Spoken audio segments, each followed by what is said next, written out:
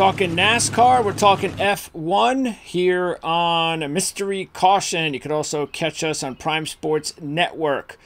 And so, yes, we have uh, two YouTube channels. The, the uh, primary uh, uh, channel, of course, is Prime Sports Network, uh, but you can check us out for our 100% Motorsports channel.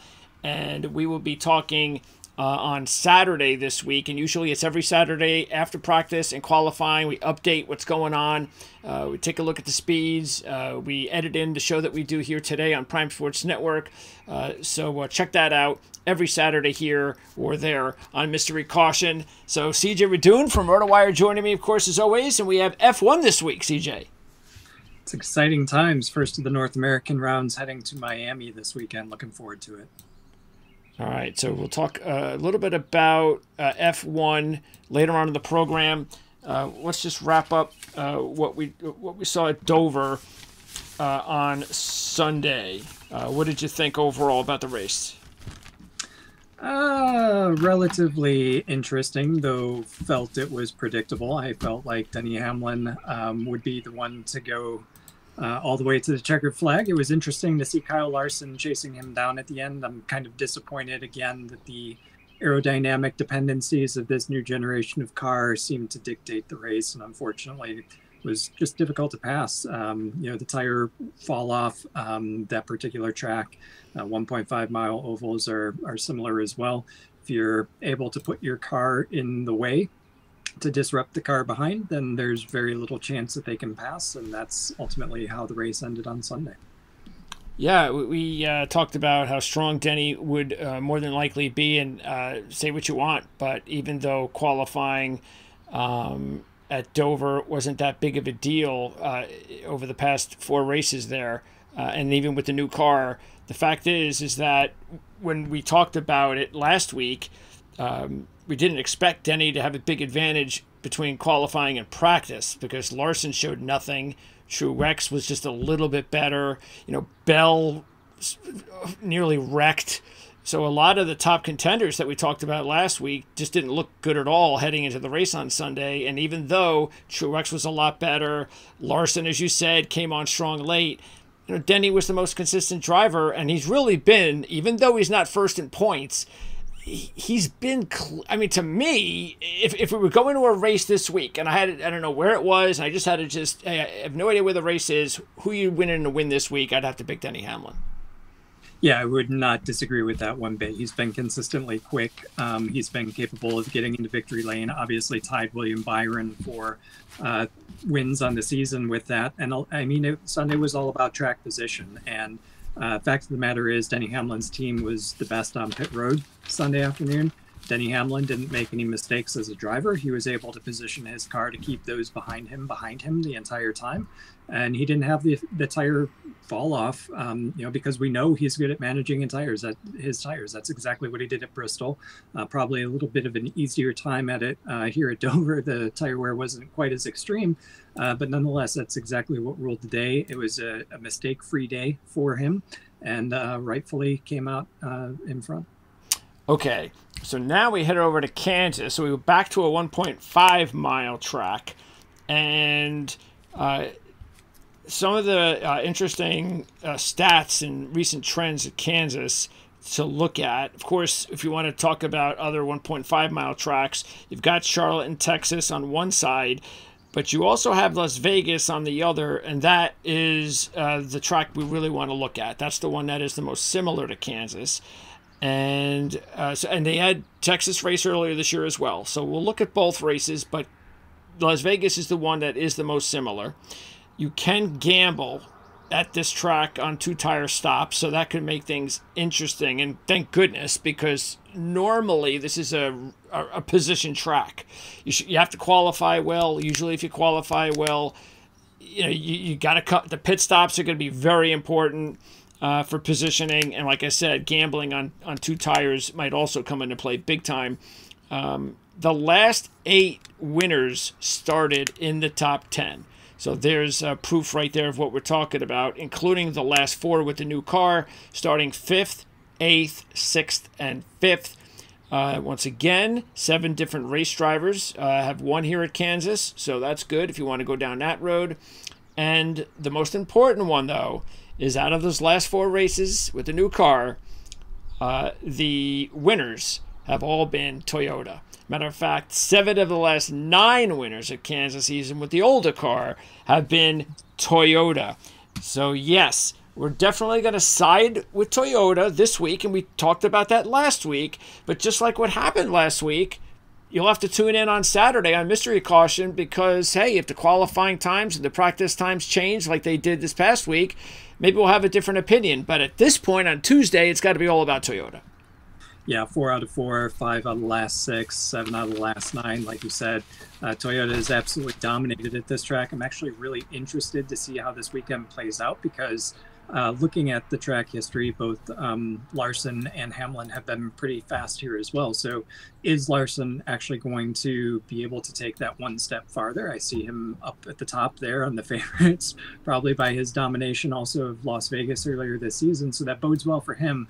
Uh, but I, I, completely agree. I think Hamlin, um, Reddick, uh, maybe Truex, those Toyotas, based on their success here, specifically at this track in Kansas, uh, is going to be one one to watch. Okay, so uh, let's uh, take a look now at the top drivers based on odds. As we saw there, Kyle Larson again uh, is the favorite. Uh, and again, though, I gotta say, it should be Denny Hamlin. I don't understand why Kyle Larson's the favorite this week. I kind of do because we mentioned that last week. It's just Larson's just the guy now. It's just I don't know. I mean, I understand it in a way, but somehow I kind of don't. I don't. I I'm starting to wonder about this infatuation with Kyle Larson. I mean, it's not like he wins like 15 races a year or something like the old days where you can have someone like Kyle Busch win a ton of races. Oh, he's the man. Yeah, Kyle Larson wins races, but it's like he doesn't win that many races for him to constantly be at these low numbers every week. Yeah, it's pretty interesting to to see him there. I would have thought I don't know, maybe going back to back is maybe giving him the slight edge. It's it's not like he's far apart from Denny Hamlin. Both of them have been very successful um, at this track, and, and, both were quick at Las Vegas too. Um, Hamlin, though, as we know, we've talked about this in seasons past. He's one of those drivers that gets on a streak and he can win three races in a row. Whereas with other drivers, it's very difficult and challenging to win week week to week um, back to back or whatever. Um, so yeah, interesting. I don't disagree. I, I think uh, Hamlin should be the favorite, if not at least perfectly. Um, despite Larson just getting yeah, it's not like because we are talking just about uh, a very minute deal of uh, numbers, so it's not something that we could take advantage of. Um, but anyway, it is what it is. Larson does have a win here, but it's only one out of 18. Uh, so, uh, and when he won, by the way, he won in uh, 2021 from the pole. So uh, it'll be that, that's that, I think that would be important to keep an eye on uh, how he practices and qualifies on Saturday. In his last four races with the new car, he has looked really strong. He's got two runner-up finishes, all in the top 10. He's led a combined 213 laps, and maybe most important, he had a very strong win in Las Vegas, leading 181 laps. He has led 29 or more laps in six of the last seven races at Kansas. Yeah, first, second, eighth, second, and fourth. And then you compare that with Denny Hamlin's stats specifically at this track. He had back to back wins here the fall of 2019, the spring of 2020.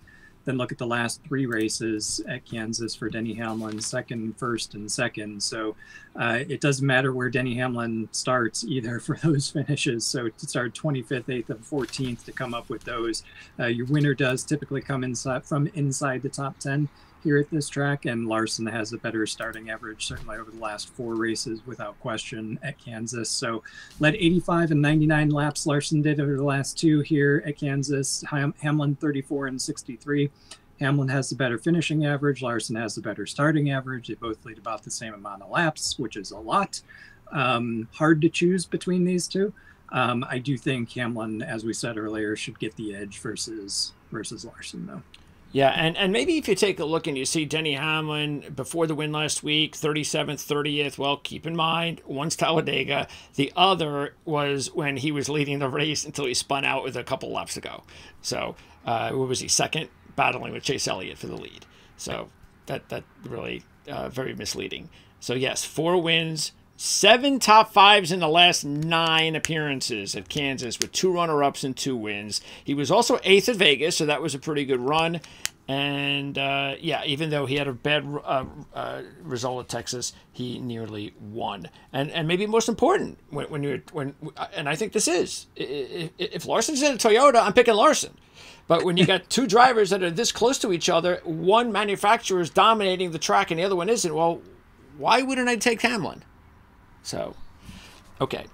Next up, uh, let's go with Reddick. Now, said the same thing last week.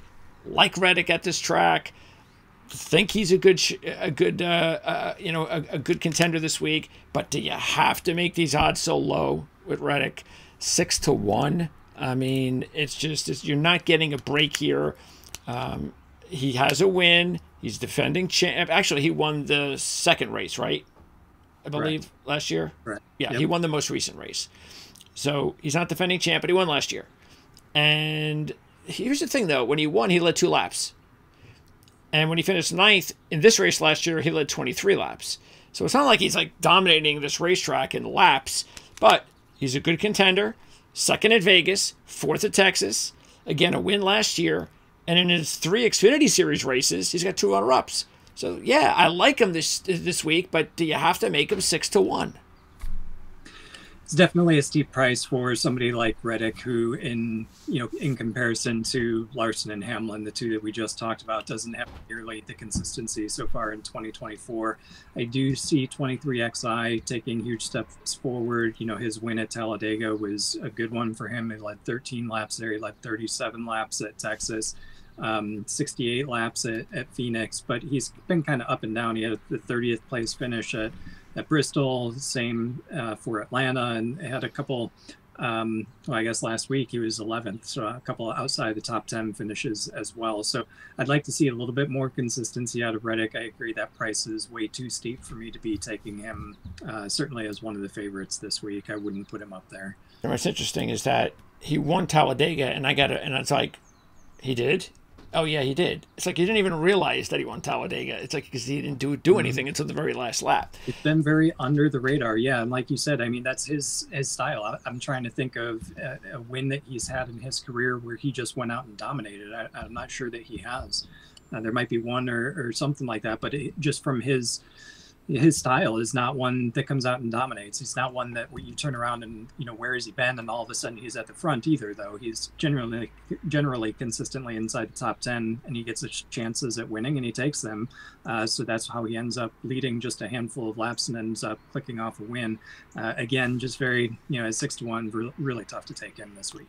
Yeah, I'd probably be um, more inclined, definitely, to wait until Sunday and hope that maybe he qualifies eighth and practices top 15 or something and maybe your odds go back up to a more reasonable 8 to 1 9 to 1 10 to 1 not sure if it would but that's the chance i would take. Because he is on it's driving a toyota so i get it but too steep a price for me to win two races in three weeks too.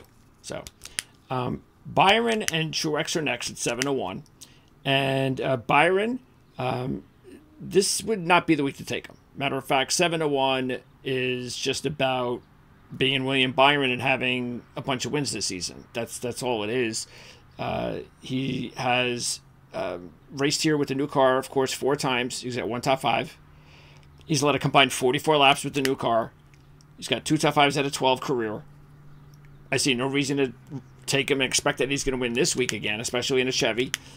Truex, on the other hand, to take a look at him, now that's a different story because he's overdue for a win.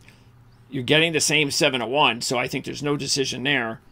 10 top 10s in his last 14 at Kansas. Six of those top fives. Two of those are wins when he swept 2017, but it was a while ago, 2017. Plus, his two uh, races on the 1.5 mile tracks we talked about, eh, nothing special. 7th Las Vegas, 14th at Texas. Crashed in this race the last time they were here. Just one top five with the new car So again, while I like Truex, I liked him a lot more last week than I did this week, but he's good enough here that you just get the feeling that sooner or later they're going to put it together. So that's why I still think he's very dangerous at seven to one. I would take uh, Truex over Byron and and Reddick personally this week. Uh, again, Toyota.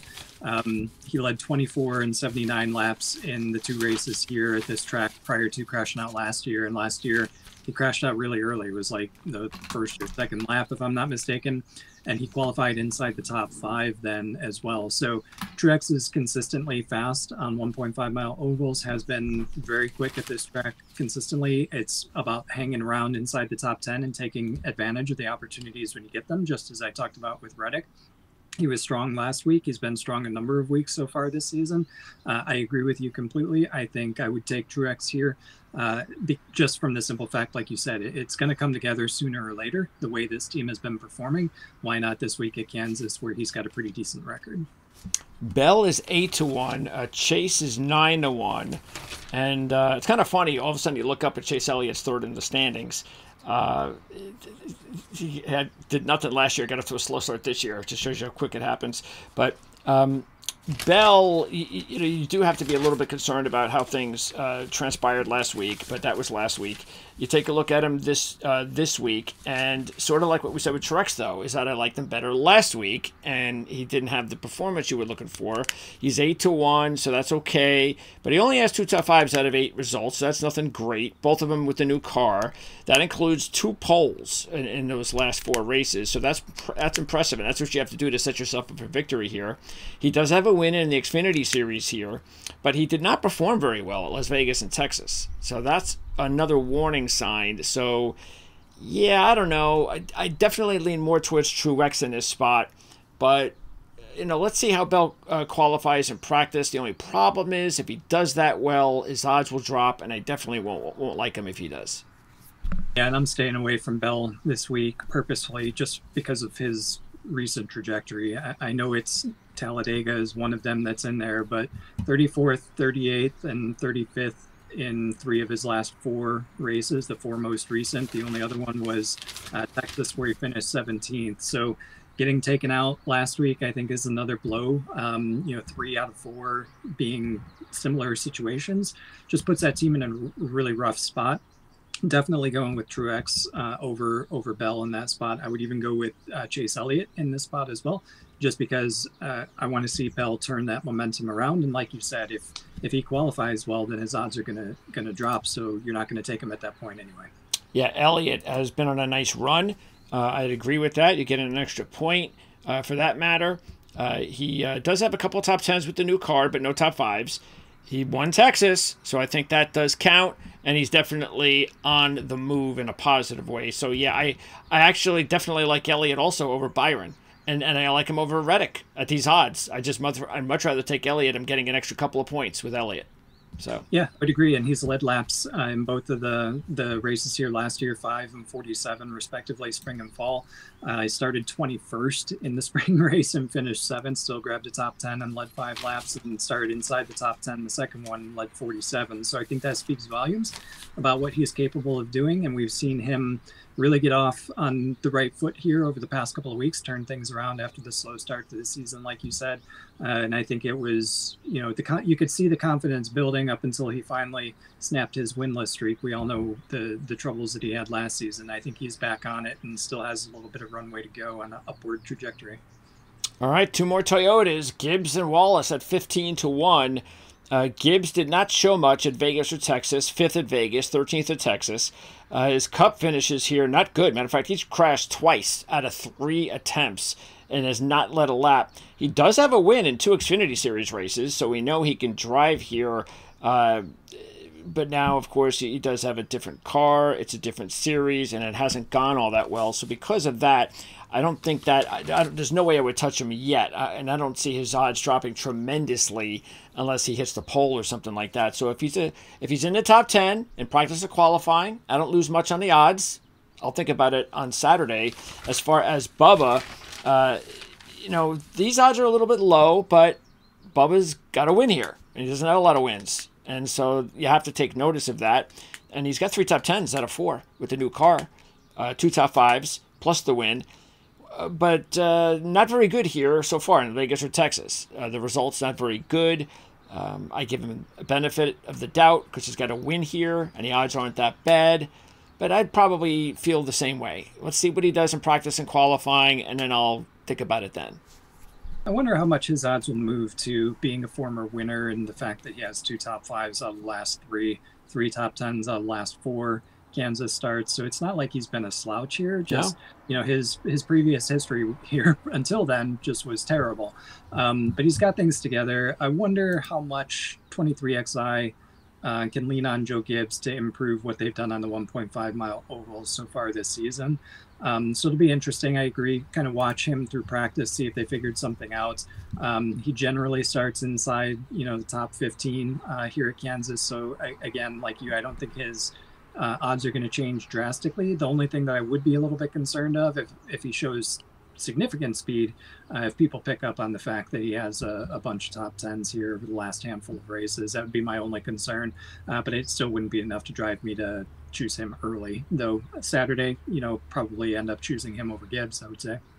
And keep in mind too, uh, he gets off to the really good start, but that's Daytona and Atlanta, and he's only had one top five since then. So, um, sort of like Gibbs, gets off to a good start, it's kind of cooled off. Okay, now we get to now we get to some some potential bargains here. Blaney's at 22 to 1. Chastain and Kyle are at 22 to 1. So um, we can start with Blaney um, because uh, it's not like he has a great history here, but it's okay. He's at top 10s. He's got three top fives. He was third at Vegas. He led some laps at Texas, even though he didn't finish well, but a bunch of cars crashed out at Texas. Um, in the last four races with the new car, three of them are in the top 12. In his last two in the Xfinity Series, he finished third in both races. The big deal is, is you're getting 22 to 1. We're not getting 13. We're not getting 15. I know he's driving a Ford, but when we're starting to take a look at guys, if we think there's somebody that might be able to steal a win with odds back here, I don't think that's likely. But if we're going to go that direction, Blaney's not a bad choice. I think he's an excellent choice at, at this this price. Um, and and the reason you're getting it is because it's a 1.5 mile oval that Toyota dominates. So uh, unfortunately, yeah, the the odds makers are smart here. Um, like you said, though, he's two top tens out of the last t- four races heading into this weekend, consistently in the top 12, around the top 10 here at Kansas. Uh, I think he's been sniffing around. I think the team certainly has a step uh, or two of improvement needed that they will find throughout the summer as the season goes on. Uh, they haven't really quite shown the same type of uh, attack that Joey Logano has had, uh, but I think um, Blaney's been a little bit more consistent as well, which is why he's further up in the points. So if, if you are going to want to take a swing at somebody, you know, Blaney is uh, a pretty good selection. I might might lean a little bit more heavily toward Ross Chastain uh, on that, though. Um, so definitely close between the two. Um, no, no reason not to choose Blaney.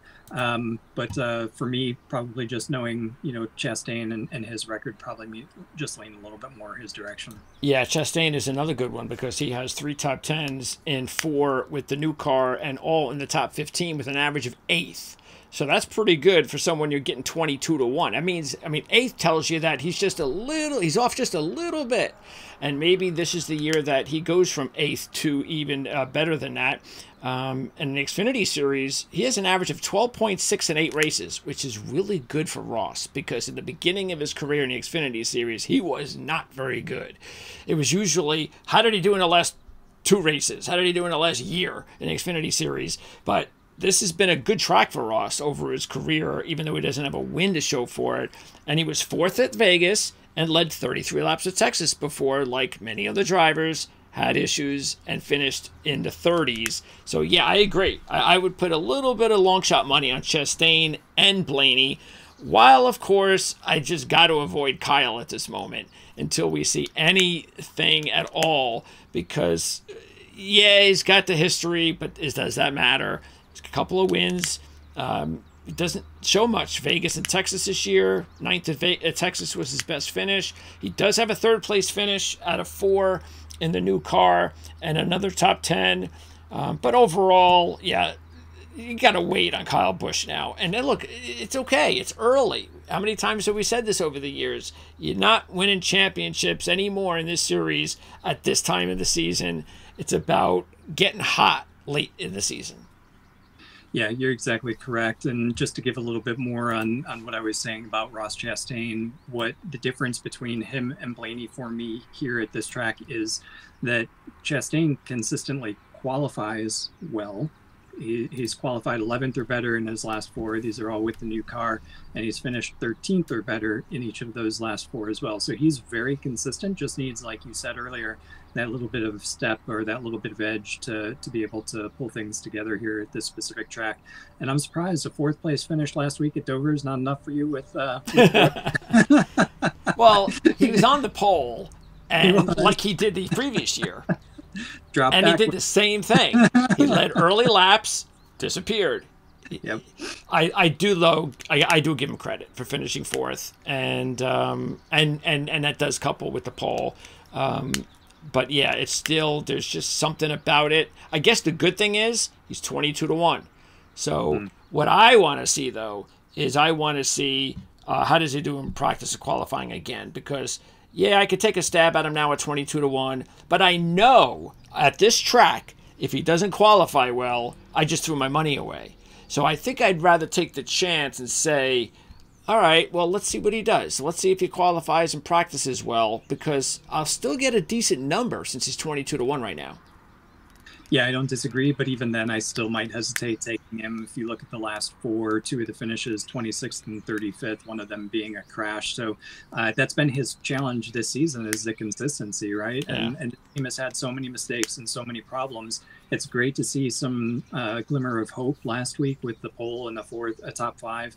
Uh, you know he's a great driver. You know the team's got the equipment, but things just aren't clicking right now, and that consistency isn't there. So for me, even if he did qual- practice and qualify really fast, I worry about the um, you know leading early laps and then slipping back. With the stage racing the way that it is, just like the season, you want to get hot at the end.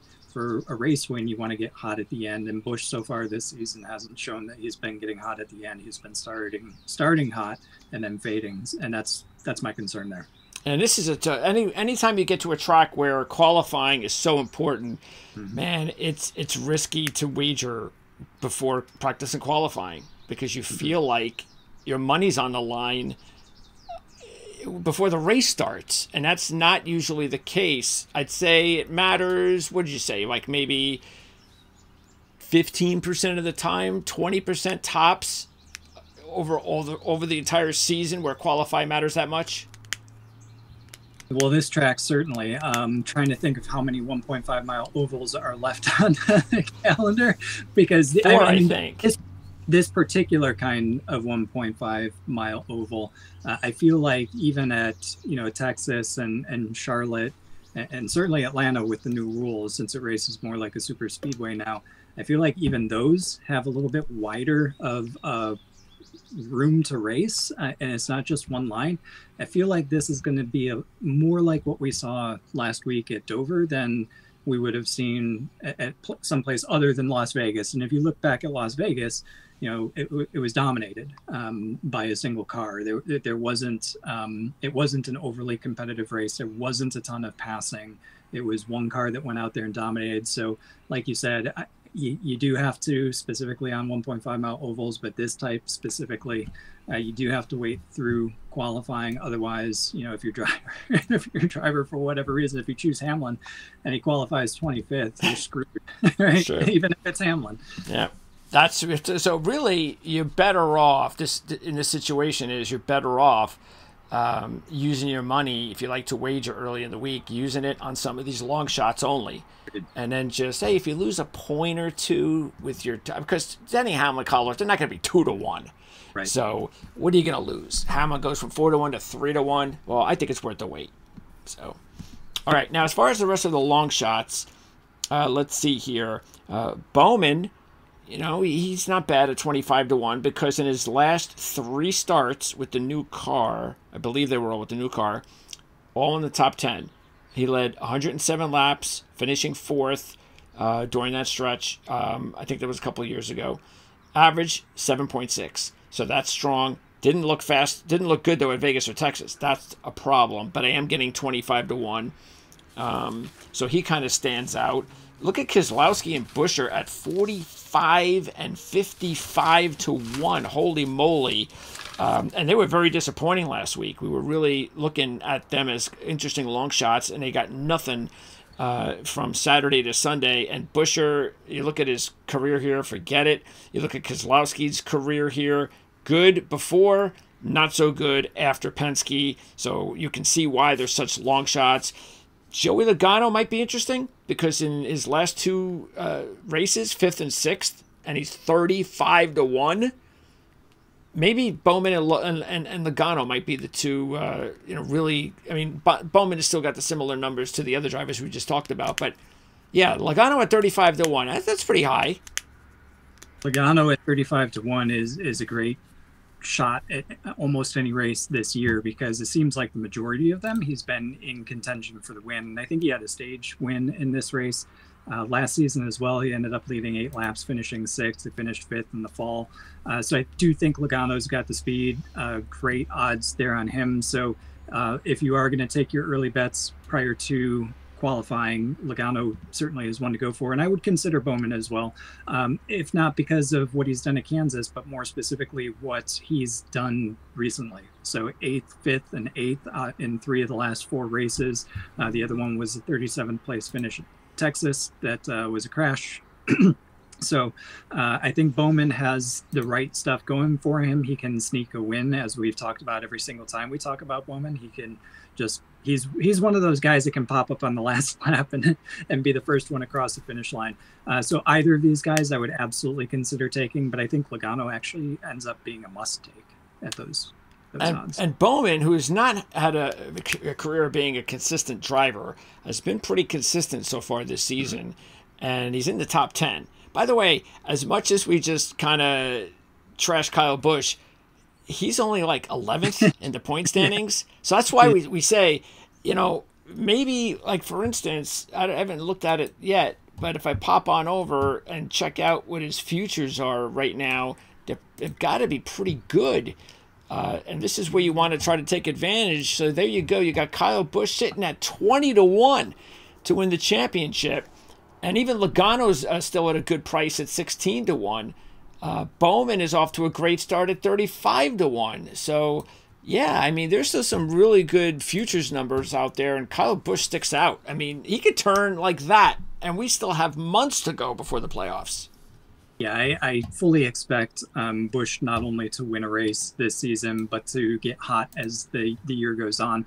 Richard Childress Racing doesn't go into slumps for long. Um, they've definitely turned their organization around. Um, Busch has been doing good things with it, making it even better.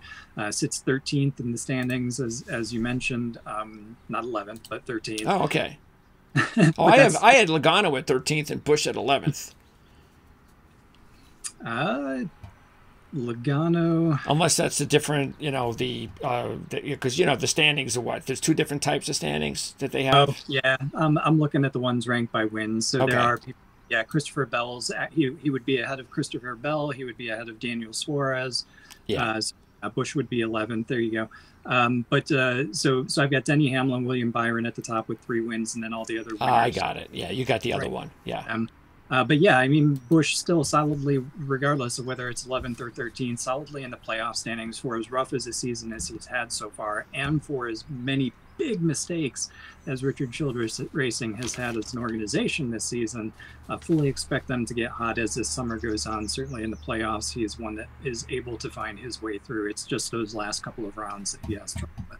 And uh, by the way, Chase Briscoe continues to have a nice start to the season. He's 80 to 1. He's never done anything here so in the Cup Series, so I'm not telling you to take him. But he does have a win when he dominated here in his last Xfinity appearance at Kansas in 2020. He led 159 laps, so uh, he does have experience here. Maybe you want to look at him if he qualifies and practices well. Um, because your odds are still going to be very good uh, when you're starting out at 80 to 1. And I am going to be starting to look at now Noah Gragson and see mm-hmm. if he could keep this up. Uh, he's sixth and third in his last two starts, sixth at Las Vegas, one of those sixth. And he did win an Xfinity Series in his last Xfinity Series appearance in 2022 at Kansas. I'm not saying he's going to win the race, but if he, if he finishes the top 10 again, I think it's maybe time because we thought he was going to have a better year than he had last year, and it always seems to be the case. Whenever you think something's going to happen one year, you got to wait till the next year for it to happen. That was with Blaney winning the championship.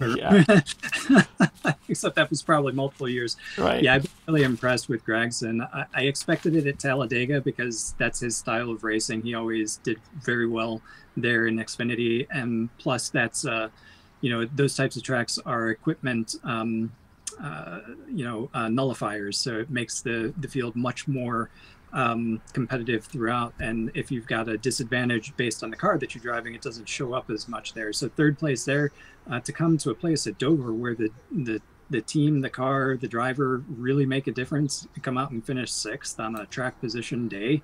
Uh, you know, he's qualified extremely well as in fifth there uh, which is why that led to such a great finish. If he can continue qualifying well, I don't see any reason why he can't continue to score top tens at this point. So uh, I think Noah Gragson, if you're willing to take a, a risk, certainly he's he's risky, no, no question.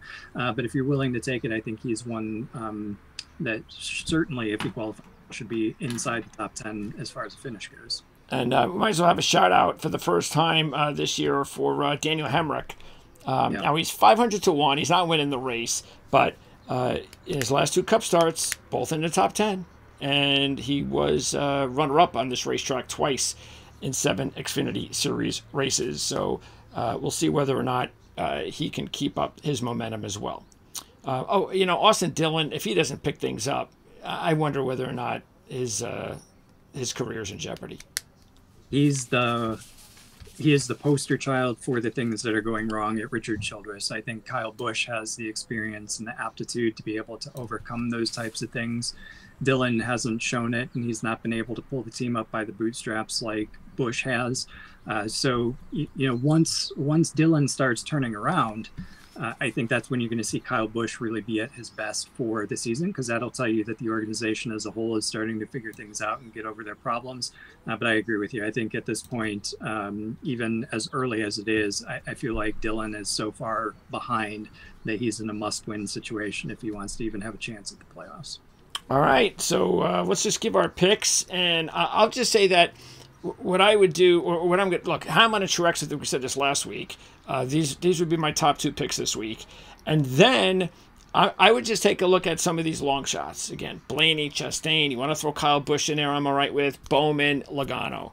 Uh, a bunch, put them all into like one little group and say, okay, if there is some sort of a, you know, maybe one of these guys, I have a good percent. If I do all five of them, I just need one of them to have a good week on a good uh, day on Saturday to put me in position to win on Sunday.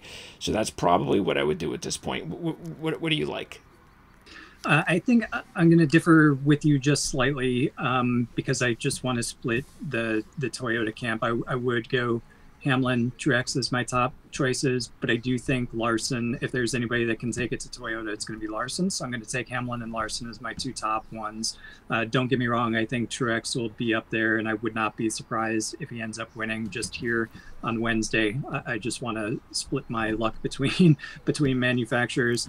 Um, certainly, from a long shot perspective, I, I, said it before. I think Logano is an absolute must take at, at this point. And then from the midpoint, um, you know, I, I, it, there are a lot of good choices. Um, I, don't know. Do we consider Chastain uh, a midpoint? Yeah. Or, then I, I, sure. I, would take Chastain probably there just because of his consistently consistency at this track, consistently qualifying inside the top ten and finishing inside the top ten. I think he's one uh, that will be there again. And if things fall his way, uh, this track can produce late cautions as well I, I, can see Chastain elbowing his way through. All right. So that is what's going on in the Cup Series. Let's talk. Uh, ex- let's talk about F1 and Miami. So, uh, besides the obvious, because we don't really, we're, we're not going to get into who's going to win the race. So uh, Verstappen, time there. Verstappen is minus 600. And wow. So what we, yeah, this I get really bad. So let's try to find one of those drivers like from a few weeks ago. So let's get let's take a look at top 10. So let's see what we got here. All right, G- give us a good one, top 10. Before you go to the top 10, go back to the winners. I'll give you two for if Verstappen, like if you're taking the strategy that we talked about at the beginning of the season, where you take somebody other than Verstappen every single week for the one or two times that he doesn't win. This week, you're going to want to go with Sergio Perez or Carlos Sainz. Those two drivers have average finishes of third and fourth at this track. Granted, it's only been two races. Max Verstappen has won both of them. Uh, they also have average starting spots of 2.5 for both of them. Both of them have been consistently on the podium so far this season. So I think you're looking at two and three, number two and three finishers right there behind Verstappen. And if anything happens to Verstappen, uh, I would probably put Perez or Sainz uh, up there on the top step of the podium. 11 to 1 and 18 to 1 to win. Let's take a look at what the podium finish is. So we have Perez. Well, Perez is minus 350. There you go. You're taking Carlos Sainz on your podium there uh, at a plus what 135. Um, not bad. You know, he's been faster than Leclerc. Uh, you know, typically, probably in any other season, you might take Leclerc because he's been historically the the faster of the two Ferrari drivers. But at this particular track, Sainz has been better in this particular season, Sainz has also been better, so he's your guy. Okay. Then let's see what we've got here. Top 10. And let's see. We're going to go all the way down here. Okay. So this is where the, because obviously we're not going to do, I mean, why would anybody? Wow, that's tough. Yeah, why would anybody do any of these numbers when I could just go with Verstappen then to win? Yeah. I don't see any bargain in there. Uh, not even Hulkenberg. I mean, Hulkenberg is probably your best bet of the bunch uh, because uh, he's been the better of the Haas drivers so far this season. Haas has had a couple of uh, pretty decent finishes. They've shown a lot of speed. It's about them being able to be mistake free and make it all the way through to the finish.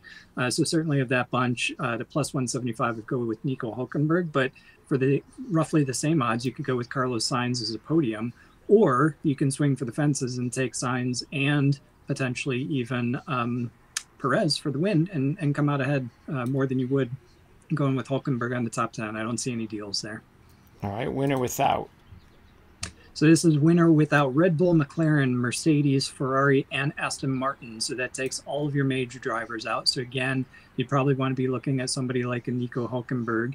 Uh, Daniel Ricciardo might come to mind, except for the fact that he and his team have been absolutely terrible so far this season. Alex Albon last season probably would have taken him because that Williams was pretty fast, and they just haven't really fi- figured it out yet this season. So, you know, probably Hulkenberg. Um, maybe a Magnussen, but certainly uh, if you're not going to go with Hulkenberg there, maybe a Valtteri Bottas or Bottas uh, would be your your choice there. But top choice again, Nico Hulkenberg. Yeah, and uh, again, just taking a quick look here at the top tens, um, and what else? Uh, yeah, I guess that's it. What's what's sprint winning car? Uh, that would be on the sprint race. So, which team is going to win the? Is this manufacturer? Yep, manufacturer. So again, you know, very similar to the to the race. You're going to take a, a Verstappen or a Perez when you're looking at uh, at that one. Okay. And overall, uh, do we have anything else? Like, what's the news this week in F1? Big news this week in Formula One may be a foreboding sign for Max Verstappen's future with Red Bull Racing. So, oh. Adrian Newey, uh, the chief designer at Red Bull, I think he's been with the team well over 10 years at this point. He is the best car designer in the sport. Um, he is actually leaving the team. I think they just announced it today. We don't know exactly where he's going. Um, if he stays in Formula One, the, the money would be on him going to Ferrari. Um, but he's going to be at select races this season for the remainder of the season to give uh, advice and feedback on the car. But he's not, long story short, I mean, he's not going to be doing too much to build Red Bulls and, and design Red Bull's car uh, for next season and, and, the future rules changes that are coming about. So I wonder if Max Verstappen, uh, you know, with the Christian Horner saga that we've talked about, uh, as well as the the genius brain behind the the Red Bull car itself that has made it such a dominant uh, dominant force. I wonder if that is signaling Max Verstappen's potential exit. Uh, rumor suggests he could potentially wind up at Audi when Audi takes over Sauber. Um, so that would be interesting. Audi coming in as a manufacturer might be able to step up the game there. That might be a seat that Verstappen might want to go to if for whatever reason he doesn't want to stick with Red Bull with them losing. You know, if, Horner sticks around, if you if you pay attention to the tabloids and Newey leaves, I think the writing's on the wall that Verstappen would want to leave uh, Audi is probably the best place where he could wind up at this point because I doubt he's going to go over uh, anywhere else to, to partner anybody, to be honest with you. So, you know, watch this space. Adrian Newey is a big loss to Red Bull. It won't really affect them this season. It'll start to show its signs of him leaving in in the next seasons as those new cars don't have him as involved. Uh, but I think that's a signal certainly for Max Verstappen's potential future, and he is the one that is holding up this driver market. So I think at some point in the summer, when Verstappen signals where he's going to go, that's going to start the dominoes falling. And if you remember from last season to this season, we've had absolutely zero driver changes and team changes. Uh, so I, I, think we may be in store for quite a bit next season.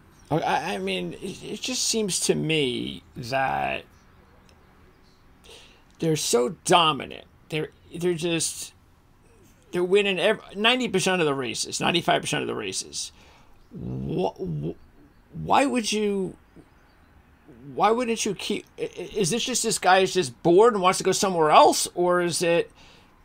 No, I mean nobody's playing hardball, are they? I mean, what's? Again, is it just well? I I need a new change. I mean, we're too dominant here. I mean, what else am I going to do? Let me go somewhere else and pick up their organization, and give me a challenge. Is that all that is? Much with Adrian Newey. Yeah, he's spent a long time uh, designing the uh, Mercedes or the, the McLaren cars before when when they had their dominance. Uh, he's been around the sport for a long time. He's been with several different teams, and pretty much every single one that he's been with, he designed what ultimately ended up being the the series' dominant car and he did it again here at Red Bull. In fact, I was very surprised when he did, last time he left, um, you know, Formula One. I was very surprised that he came back because he wanted to do a completely new challenge. He was talking about the America's Cup yachts. He was talking about um, developing, uh, you know, the road cars. He's still going to be working on the Red Bull road car, the the concept car that's going to be at the Goodyear, um, or I'm sorry, Goodwood festival here in the next couple of months. Uh, so he's got a lot of focus and ties into that. But yeah, with Adrian Newey, he's the kind of guy that wants to go to a new challenge. It wouldn't surprise me if he went and did something completely different, some other kind of racing, uh, like I don't know, MotoGP or uh, maybe America's Cup or, or something like that. I, he, he likes he likes to use his brain. He likes new challenges, uh, and I think the domination here has been okay. I, I've had I've had my fill. We're here again. Time time to try something something new. And the, that wouldn't necessarily mean that Max Verstappen would go to the same place, does it? Uh, no, I don't think so because okay. Newey would be going. I, I, odds are would would he would go to Ferrari. Newey would. Okay. Uh, if he were to stay in Formula One, and those seats are already filled. You got Leclerc and, and Lewis Hamilton. Okay. So, uh, no no way Verstappen could even get in there. So I think at that point um, you know, depending on who wins the tug of war within the Red Bull camp, whether Christian Horner stays or goes, um, that probably is uh, going to be part of or a determinant of whether he stays. But I think similar for for Newey, Verstappen's been dominant now for several seasons. Why not go and see if he can do it at another team with a new manufacturer that's coming in with deep pockets and, and really intent on having success as well? So, um, it's going to be interesting to play out. I do think uh, with the Christian Horner saga and with Adrian Newey leaving, I'd be hard pressed to see Adrian Newey stay in Formula One, if not take a couple of years out. Uh, so again, I think that just kind of forewarns us that Verstappen's likely going to be looking for greener pastures. Hey, I hope. I, look, good, good for him. Uh, but you know, for the sake of the sport, I hope he decides to stay away from the sport for a few years because he's too good. So um, we don't need him. Any, we don't need him designing another car that can't be beat. So that's good for him. But I don't think it's. Uh, even though I know there are a lot of fans out there that, well, it's it's sort of like the soccer fans. Well, it's not about how many goals you score. There's a lot more to it, and I get it. We all get it. We totally understand it. Um, but those sports are not very popular in America. So, coincidence? No. Yeah, Formula One needs some competition um, in order to, to keep this country's attention. They have three races now in North America, which is great for them. Um, but man, the on track action's got to be more exciting. it does. I mean, has there yes, even? And I know there's always been runs like this, but yeah. can you can you tell me uh, before we close out here? Can you tell me like when was the last time that you really didn't know if there would at least be one of five drivers that could win on any week? Oh my gosh, five drivers! If you put it at that, is that like is that never happened, or am, I like we have to go back forty years or something? No, it's it's happened. I, I think probably the year that Jenson Button won the the championship um, with Brawn, that was a new team. It was a whole new series uh, of regulations that came out, brand new cars, new concepts. Figures. Overall. So everything was basically new that yeah. season. But that that that's kind of how far back you go. But honestly, there's traditionally outside of maybe the past three seasons. Um, there maybe two seasons actually. There's always it, it seemed to always come down to two guys at two the guys. end of the season. And it's been Lewis Hamilton and Max Verstappen. It's been Michael Schumacher and Mika Hakkinen. It's been Fernando Alonso and pick your driver. Um, but that competitiveness ha- has been there almost every season. Um, even in Hamilton's heyday. I mean, he still had Nico Rosberg to contend with, and Nico Rosberg ended up winning one of those championships too. So you never really knew. Uh, but right now, the last two seasons, uh, it was a close battle three years ago between Verstappen and Hamilton to go down to the last race. But once Verstappen took that edge, the last two seasons, it, he's he's just run away with it. Absolutely run away with it. Well, two's better than one. That's for sure. I mean, odds wise, I guess it would put you probably each week at like probably 250 for each driver, I guess, something like that, or minus mm. 200. But it, but I would say this: it'd probably be, I don't know. I'd almost think it would be worse in a way, because even though you're risking more money, you have a much better chance that he's going to win.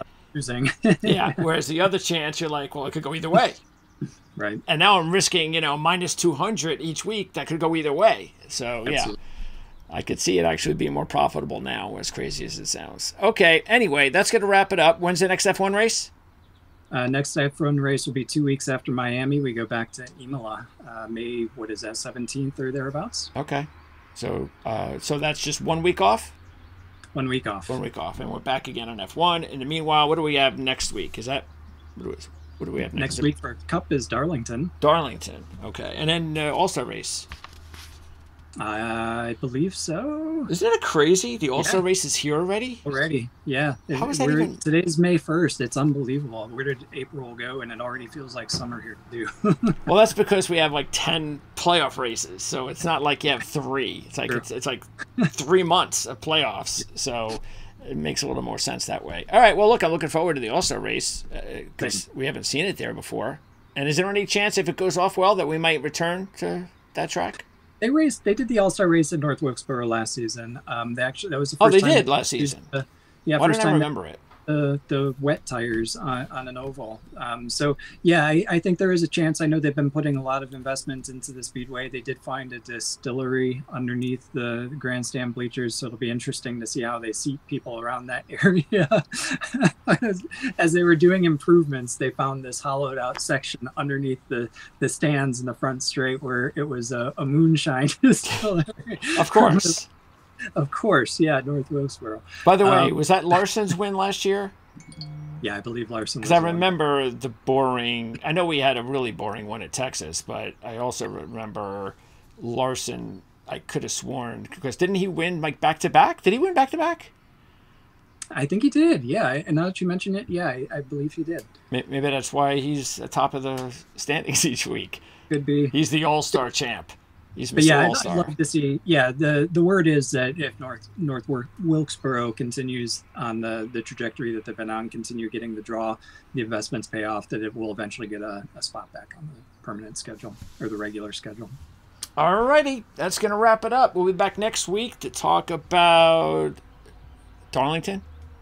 Darlington. Darlington. So. Um, better than uh, should be better than this week, but I hope I'm wrong because it's the first trip to Kansas, so you never know. Uh, we'll see how things go. We didn't think it would turn out the way it did last week, even though we did expect Hamlin to win. It uh, everything kind of changed with the weather, and that was a big deal. And I'm sure that had a lot to do with it, qualifying in cold conditions on Saturday and so forth. That's not going to happen very long, much longer as the weather changes. But we'll be back again next week with more talk here on the NASCAR Cup Series. Don't forget, uh, when you check back with us on Mystery Caution on Saturday, we'll have a link in the description uh, for CJ's report uh, for the races, F1 and uh, NASCAR. By the way, the F1 race is when? It'll be Sunday evening, actually. Uh, I want to say it kicks off somewhere around the five o'clock hour. Interesting. So it's going to come after the Cup race on Sunday. Yeah. Okay. Interesting. So keep an eye on that, and we'll see everybody next week.